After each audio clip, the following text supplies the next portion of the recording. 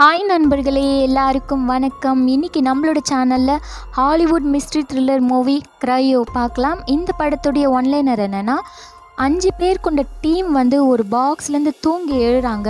அப்படி ஏந்திரிச்சு பார்த்தா அவங்களோட பேர் அவங்களுக்கு ஞாபகம் இல்லை. அந்த அளவுக்கு அவங்களுடைய மெமரியை மறந்துட்டு அங்கே வந்தது ஏன்? எதுக்காக வந்தோம் யார் கொண்டு வந்து இந்த ஆராய்ச்சியெல்லாம் பண்ணுறா அப்படின்ற கதையை ரொம்பவே த்ரில்லிங்காக சொல்லியிருக்க படம் தான் இந்த படம். இந்த படத்தை பார்க்கறதுக்கு முன்னாடி என்னுடைய சேனலை இது வரைக்கும் நீங்கள் சப்ஸ்கிரைப் பண்ணலன்னா சப்ஸ்கிரைப் பண்ணிட்டு கூட பெல் ஐக்கானை கிளிக் பண்ணிக்கோங்க. அடுத்தடுத்து நான் போகிற வீடியோஸ் எல்லாம் உங்கள் நோட்டிஃபிகேஷனுக்கு கிடைக்கும். வாங்க மூவிக்குள்ளே போகலாம் படத்தை ஆரம்பிச்ச உடனே ஒரு வயசான தாத்தா உட்காந்து ரெக்கார்டரில் பேசிகிட்டு இருக்காரு ஒரு வசனத்தை.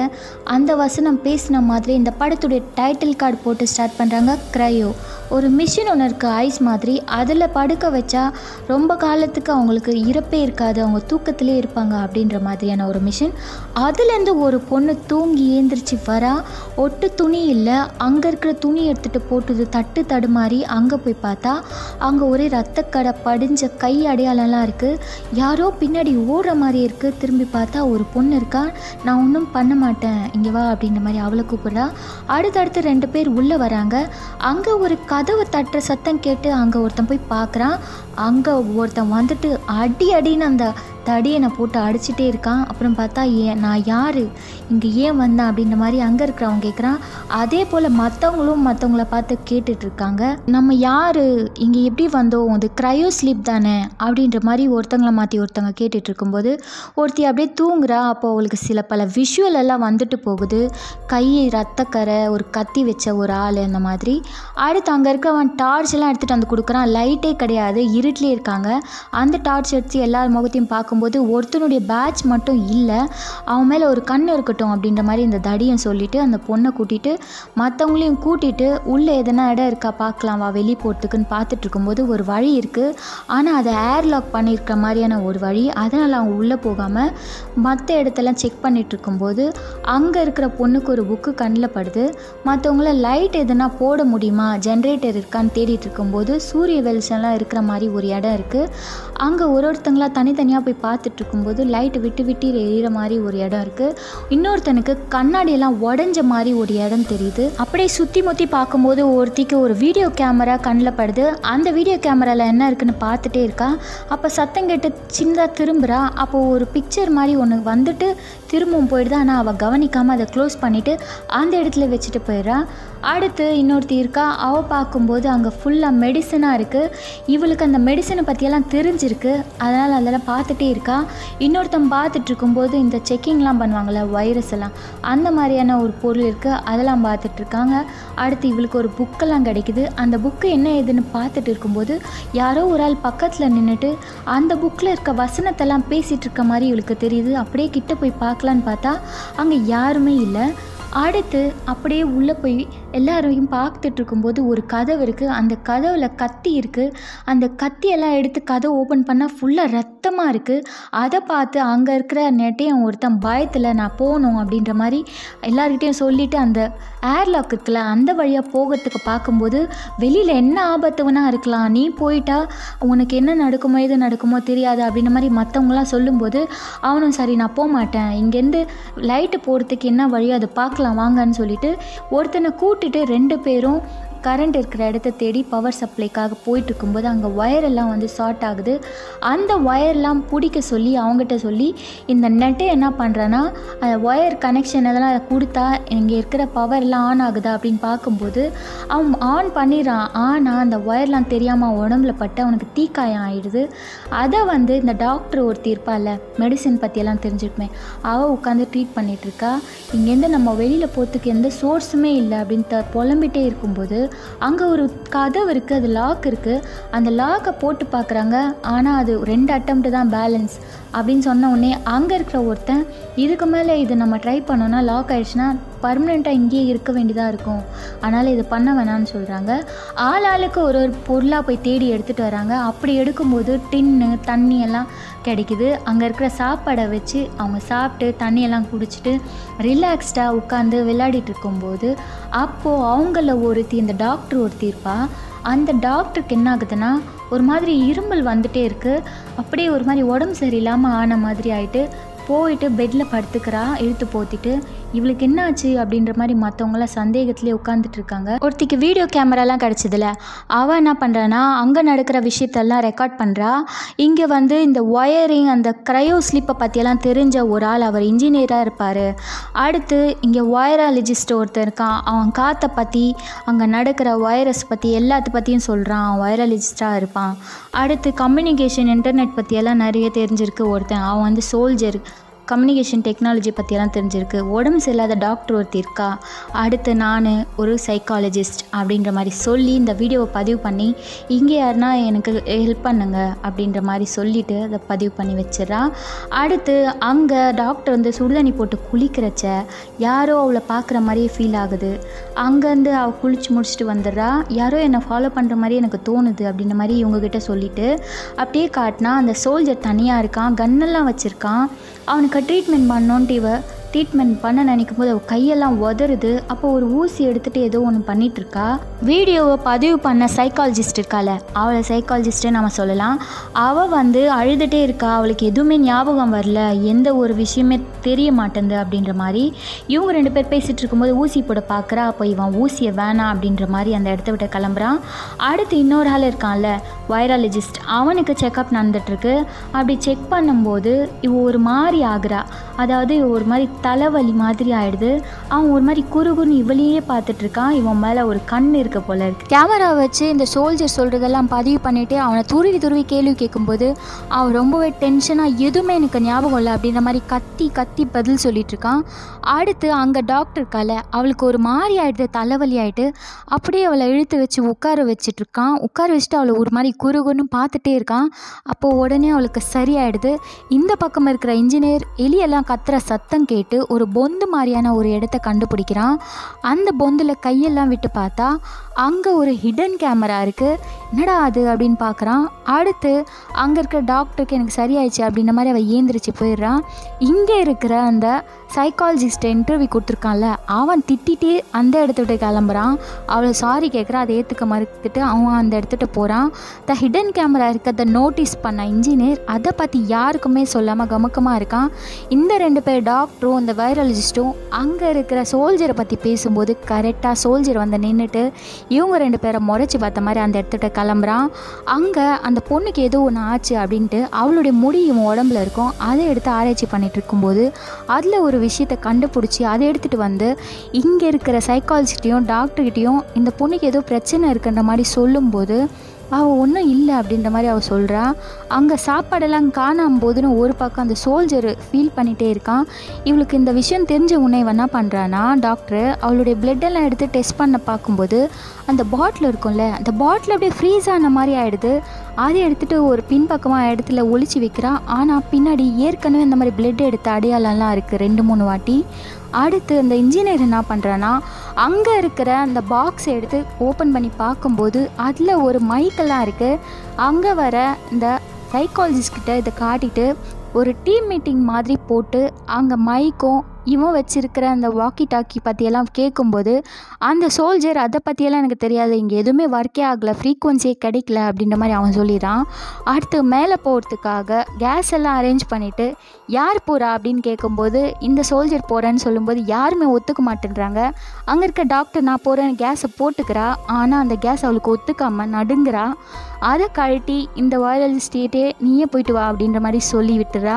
மறுநாள் நீ கிளம்பு அப்படின்ற மாதிரி டீமாக சொல்லிட்டு கிளம்புறாங்க எல்லாரும். அங்கே இருக்கிற எல்லாருமா சேர்ந்து சாப்பிட்டுட்டு இன்னும் கொஞ்சம் சாப்பாடு தான் இருக்குது அதுக்குள்ளே இங்கேருந்து எப்படியாவது தப்பிக்க பார்க்கணும். இங்கேருந்து வெளியில் போகிறதுக்கான வழியை தேடணும் அப்படின்ற மாதிரி காட்டி மூணாவது நாள் அப்படின்ற மாதிரி காட்டிட்டு அந்த டாக்டர் இருக்கால அவள் வந்து சைக்காலஜிஸ்ட்டை எழுப்பிட்டே இருக்கா.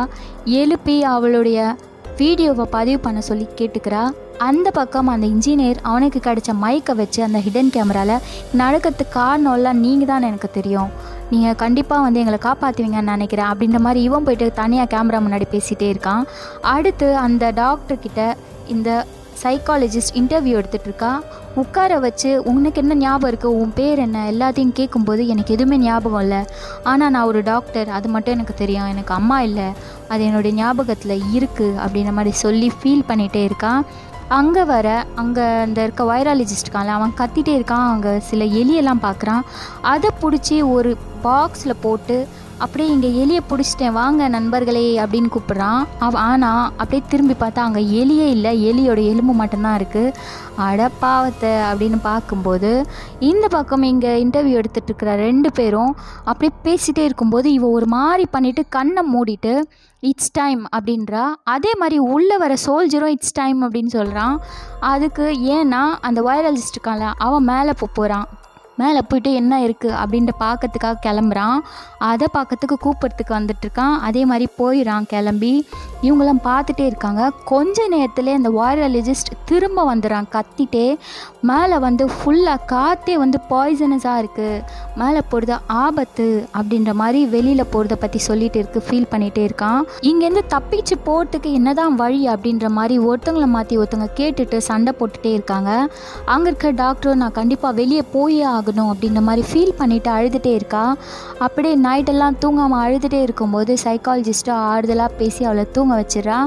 இவளுக்கோ சில பல விஷுவல் எல்லாம் இருக்குது இதெல்லாம் என்ன ஏது அப்படின்னு தெரிஞ்சுக்கிறதுக்காக தூங்காமல் டார்ச் எடுத்துட்டு அங்கே இருக்கிற விஷயம் எதுனா இவளுக்கு தெரிய வருதா அப்படின்ற மாதிரி தேடி தேடி பார்க்குறா அப்படி போகும்போது அந்த வழியில் வர சோல்ஜர் நீ இந்த நேரத்தில் இங்கே என்ன பண்ணுற அப்படின்ற மாதிரி கேட்கும்போது நீ என்ன பண்ணுற அப்படின்ற ரெண்டு பேருக்கு முட்டிக்குது. அப்படியே பேச்சு வாக்குவாதமாயிட்டு அப்படியே விடிஞ்சிருது. மறுநாள் நாலாவது நாள் ஆயிடுச்சு. அடுத்து இந்த இன்ஜினியரை உட்கார வச்சுட்டு கேள்வியாக கேட்டுட்டு இருக்கா. அப்போ அவங்ககிட்ட இந்த சரியான பதில் வரல அப்படின்றதுனால கேமராவை ஆஃப் பண்ணுற மாதிரி ஆன்லேயே வச்சுட்டு அவங்ககிட்ட சீக்ரெட்டாக எதனா போட்டு வாங்கலாம் அப்படின்ற மாதிரி கேட்கும்போது எந்த விஷயத்தையுமே அவங்ககிட்ட இருந்து வாங்க முடியல. ஆனால் கேமரா ஆனில் இருக்கிறது அவனுக்கு தெரிஞ்சுட்டு அந்த இடத்த விட்டு கிளம்புறான். அடுத்து இவ டைரி ஒன்று பார்த்துட்டு அதுலேருந்து ஏதோ ஒன்று தெரிஞ்சிடுறா. இங்கே இருக்கிற டாக்டரோ அந்த வெளிச்சமாக இருக்குல்ல அந்த இடத்துலேருந்து தப்பிச்சிடலாம் அப்படின்ற மாதிரி ஏணி மேலே ஏறிட்டு இருக்கும்போது அங்கே வர வைராலஜிஸ்ட் அவளை போக விடாமல் பண்ணிடுறான். அவங்க ஒரு டோர் இருக்குல்ல லாக் டோர் அந்த லாக் நம்பர் கண்டுபிடிச்சிட்டேன் அப்படின்ற மாதிரி ஒரு நம்பர் போகிறாங்க ஆனால் அது ஓப்பன் ஆகலை. தப்பான நம்பர் போட்டிருக்காங்க. ரெண்டாவது அட்டம்ப்ட்டும் உங்களுக்கு ஃபெயிலியர் ஆகிடுது சாப்பிட்ற இடத்துல சோல்ஜர் கூப்பிட்டு எல்லாருக்கிட்டையும் சாப்பிட்ற சாப்பாடு காணாமல் போகுது அப்படின்ற மாதிரி அந்த டின்னை பற்றி கேட்கும்போது இங்கே காணாமல் போகிற டின்னெல்லாம் எடுத்து சாப்பிட்றது யாருன்னா அந்த டாக்டர் தான். அதை பற்றி இவங்களுக்கு தெரிஞ்ச டாக்டரை பிடிச்சி கற்று கற்றுன்னு கத்தி விட்டுறான் சண்டை போடுறான். அங்கேருந்து அந்த டாக்டரை காப்பாற்றி வைரலஜிஸ்ட் கூட்டிகிட்டு போயிடுறான். அப்படி கூட்டிகிட்டு போயிட்டு அவளை உட்கார வச்சு பேசிகிட்டு இருக்கும்போது சோல்ஜர் கண்ணு முன்னாடி யாரோ ஓடுற மாதிரி தெரியுது. ஆனால் யாருமே தெரியல. அங்கே போய் பார்த்தா ரெண்டு பேரும் அப்படி பேசிகிட்டு இருக்கும்போது இவள் ஒரு மாதிரி பண்ண ஆரம்பிக்கிறான் அப்படி பண்ணும்போது இவன் பயந்துட்டு எல்லாரையும் கூப்பிட்றான் எல்லாரும் ஓடி வந்து பார்க்கும்போது இவன் ஒரு மாதிரி வலிப்பு வர மாதிரி பண்ணுறா ஒரு மாதிரி ஆயிடுது. அங்கே அந்த வைரலஜிஸ்ட் இருக்கால அவன் சொன்ன புக்கை போய் தேடும்போது அந்த புக்குக்குள்ளே ஒரு ஃபோட்டோ இருக்குது அந்த புக்குக்குள்ளே இருக்க ஃபோட்டோவில் ஒருத்த முகத்தை மட்டும் கிழிச்சு எடுத்திருக்காங்க. அது யாருன்னா அந்த சோல்ஜர் தான். அவன் தான் கல்ப்ரேட் அப்படின்ற மாதிரி இவங்கெல்லாம் வந்து நினச்சிட்டு அவனை போய் பிடிக்க பார்க்கும்போது அவன் கன் எடுத்து நீட்டுறான். சுற்றுவேன் மரியாதையை தள்ளி போ அப்படின்ற மாதிரி சொன்ன உடனே இவங்க பயந்து ஒதுங்கிறாங்க. அவன் ரூம்குள்ளே போயிடுறான். இவங்க மூணு பேரும் பிளான் பண்ணி அவனை வெளியில் வர வைக்கிறதுக்காக அந்த டாக்டர் உடம்பு சரியில்லை ஹெல்ப் பண்ணு நான் உனக்கு சப்போர்ட் பண்ணுறேன் அப்படின்ற மாதிரி இந்த வைரலஜிஸ்ட் போயிட்டு அவனை கூட்டிகிட்டு வெளியில் வரும்போது அப்போது அங்கே இருக்கிற ரெண்டு பேரும் இவனை பிடிச்சி கட்டி வச்சுறாங்க அப்படி கட்டி வச்ச உடனே அவனை போட்டு அடி அடின்னு அடித்து அந்த இன்ஜினியர் அவங்ககிட்ட இருக்கிற கன் எங்கே இருக்குது அப்படின்ற மாதிரி கேட்கும்போது அவன் சொல்லவே மாட்டேன்றான். இவ்வளோ எவ்வளோ வந்து கேட்டு பார்க்குறான் இங்கேருந்து தப்பிக்கிறதுக்காக அவன் எதுவுமே சொல்ல மாட்டேன்றான். அடுத்து இவளுக்கு விஷுவலில் இந்த ரவுண்ட் மாதிரி போட்டு பி மாதிரி எழுதி வச்சிருப்பா. அது தெரியுது. அதை பற்றி கேட்குறா அவனுக்கு எதுவுமே புரியவே இல்லை. அடுத்து அங்கே இருக்கிற டாக்டரும் ஒரு மாதிரி ஃப்ரீஸ் ஆன மாதிரி ஆகுறா. இவளை பார்த்து இவன் அப்படியே முத்தம் கொடுக்குறான். அந்த நேரத்தில் அங்கே வர அந்த சைக்காலஜிஸ்ட் நீ என்ன பண்ணுறேன்னு கேட்கும்போது நான் அவளை காப்பாற்ற நினச்சேன் அப்படின்ற மாதிரி பார்க்கும்போது அவள் அப்படியே உடம்பு ஒரு மாதிரி ஃபுல்லாக ஃப்ரீஸ் ஆன மாதிரி இருந்தால. ஆனால் கொஞ்ச நேரத்திலே நார்மல் ஆயிடுறான் இங்கே நடக்கிற பிரச்சனைகளுக்கும் இங்கே நடக்கிற விஷயம் விஷயங்களுக்கும் காரணமே இந்த சோல்ஜர் தான். அவன் தான் எல்லாமே பண்ணியிருக்கான் கல்பிரிட் அப்படின்ற மாதிரி கத்தி எடுத்துகிட்டு வந்து சோல்ஜர் அந்த ஏர்லாக் ஓப்பன் பண்ணி வெளியில் போக சொல்லி துரத்திட்டே இருக்காங்க. மூணு பேருமா சேர்ந்து. அப்படி பண்ணிட்டு மூணு பேருமா வந்து பேசிகிட்டு இருக்கும்போது அங்கே இருக்கிற அந்த பொண்ணு இருக்கால சைக்காலஜிஸ்ட் அவள் அந்த வழியே பார்த்துட்ருக்கா அவன் போன வழியே. அப்போது அங்கே வர இன்ஜினியரோ வா அப்படின்ற மாதிரி கூட்டிகிட்டு போயிட்டு அங்கே இருக்க கேஸை வந்து இவன் போட்டுக்கிறான். இவன் போட்டுட்டு அப்படியே பார்க்கும்போது இவன் ஒரு மாதிரி ஆகுறான். அப்படி ஆயிட்டு இவனால் முடியாமல் அதை ஓப்பன் பண்ணி அவள் சாக போகிறா அப்படின்ற மாதிரி இந்த டாக்டரை பற்றி சொல்கிறான் என்ன பிரச்சனை ஆயிடுச்சுன்னா இவன் க்ரையோசெல்லில் வந்து செக் பண்ணியிருக்கான் ஒயரெல்லாம் நோண்டி. அந்த நேரத்தில் அந்த கேஸை வந்து அந்த க்ரையோசெல்லில் சப்ளை பண்ணியிருக்கான்.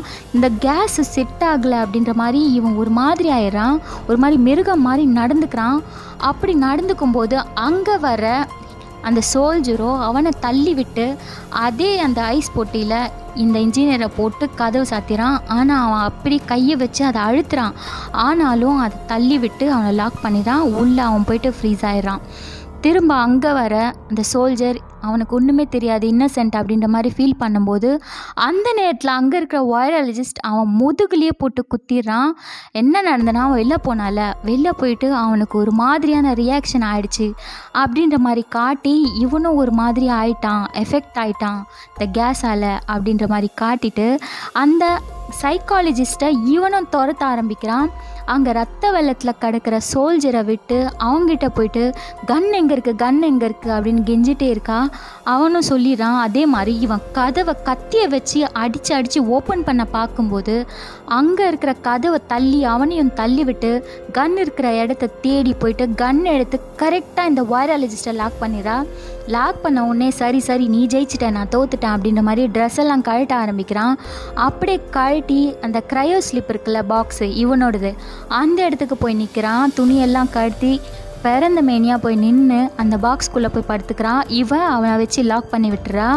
அங்கே ரத்த வெள்ளத்தில் கிடக்கிற சோல்ஜர்கிட்ட போயிட்டு உனக்கு ரத்தம் பிளட்டு நிறைய போயிடுச்சு நீ சாக போகிற அப்படின்ற மாதிரி இவன் ஃபீல் பண்ணிகிட்டே இருக்கான் அவன் அப்படியே வலிச்சு கொண்டு வந்து அப்படியே அங்கே செவுத்தில் ரத்தக்கரையெல்லாம் படர்ந்தது இவளோட கை அப்படின்ற மாதிரி காட்டிட்டு அவனையும் ட்ரெஸ் எல்லாம் ரிமூவ் பண்ணி அந்த பாக்ஸில் அவனுடைய பாக்ஸ் இருக்குல்ல அதில் படுக்க வச்சு இதில் இருந்தால் தான் அவன் உயிரோடு இருப்பான் அப்படின்றதுனால லாக் பண்ணி விட்டுறா. லாக் பண்ணிவிட்டு அழுதுகிட்டே இருக்கா. எல்லாருமா போயிட்டாங்க. என்ன பண்ணுறது அப்படின்னு தெரியாமல் கன்னை வச்சுட்டு பார்த்துட்டு இருக்கும்போது அங்கே ஒரு ஃபோட்டோ இருக்குது அந்த ஃபோட்டோவில் இவங்க டீமாக இருக்காங்க. அதை பார்த்துட்டு ஃபீல் பண்ணிகிட்டே இருக்கா. வெளியில் போயிடலாம் ஏர் லாக் ஓப்பன் பண்ணின்னு பார்க்கும்போது அவளுக்கு ஒரு ஞாபகம் ஞாபகம் வந்துட்டு அங்கே இருக்கிற லாக்கு அந்த லாக்கை டபுள் ஜீரோ டூ அப்படின்ற நம்பரை போட்டு பாஸ்வேர்ட் போட்டோடனே அது ஓப்பன் ஆகிடுது உள்ளே போனால் அங்கே இன்னொரு டோர் இருக்குது அந்த டோரை ஓப்பன் பண்ணால் அங்கே ஒரு க்ரையோ செல் இருக்குது அங்கே க்ரையோ செல்லை ஓப்பன் பண்ணால் ஒரு கிழவன் வரான். ஸ்டார்டிங்கில் பேசினான் பார்த்தீங்களா அந்த கிழவன் தான் இவன். இவன் யாருன்னா இவளோட அப்பா தான் சக்ஸஸ் ஆயிடுச்சு சக்ஸஸ் ஆயிடுச்சுன்னு சொல்லிட்டு இந்த கிழவன் வெளியில் வரான். வந்துட்டு ரெண்டு பேரும் சாப்பிட்டுட்டே இருக்காங்க. அப்போது சாப்பிட்ற நேரத்தில் அந்த ஃப்ரெண்ட்ஸ் எல்லாம் பற்றி யோசிச்சுட்டே ரொம்ப ஃபீல் பண்ணிட்டு இருக்கா. சாப்பிட்றதுக்கு சாப்பாடு கூட இல்லாமல் ஒன்றா சண்டை போட்டுட்டு இருந்தாங்க அப்படின்றத பற்றி அடுத்து ஒரு ரெக்கார்டர் ஒன்று ரெடி பண்ணுறதுக்காக தாத்தா உட்கார சொல்லி இன்டர்வியூ எடுத்துக்கிற மாதிரி பேசிகிட்டு இருக்கும்போது தாத்தா வந்து பேசின டைலாகே தேய்ச்சி தேய்ச்சி பேசிகிட்டே இருக்கிறத பார்த்துட்டு இவங்களோட ஆராய்ச்சி ஃபெயிலியராக போச்சு அப்படின்னு அடிச்சுட்டு அழுதுகிட்டே இருக்கா.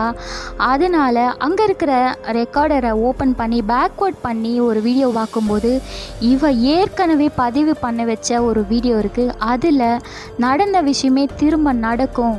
அதாவது இந்த ஆராய்ச்சியில் ஒருத்தவங்க வந்து பார்த்தது அவங்கள தான் இருக்கும் அவங்கள துரத்திட்டு இருப்பாங்க. அந்த பேட்ச் எல்லாம் இல்லாமல் பண்ணதே இவ தான் இங்கே நடந்த விஷயத்துக்கு எல்லாத்துக்கும் காரணமே இவ தான் அப்படின்ற மாதிரி அந்த ரெக்கார்டரில் பதிவு பண்ணி வச்சுருக்கா. அதை பார்த்து அவள் அடிச்சிட்டு அழுதுகிட்டே இருக்கா. அந்த நேரத்தில் அங்கே வர அந்த அப்பாவோ அவள் வந்து தூங்கிட்டு இருக்கான் சாகலை. இந்த ஆராய்ச்சி திரும்பவும் நம்ம தொடருவோம் அப்படின்ற மாதிரி அவளை அதுக்குள்ளே வச்சு லாக் பண்ணி அவரும் அங்கே இருக்கிற பொருள் எல்லாம் பழைய மாதிரியே செட் பண்ணி திரும்பவும் அவருடைய க்ரையோ செல்லியே போய் படுத்துக்கிறாரு. அப்படி படுத்துட்டு அவர் லாக் பண்ணிக்கிறாரு. அடுத்து இந்த பொண்ணு இருக்கால சைக்காலஜிஸ்ட் அவள் வெளியில் வர மாதிரி காட்டி இந்த படத்தை முடிக்கிறாங்க இந்த படம் மித்தோட முடியுது.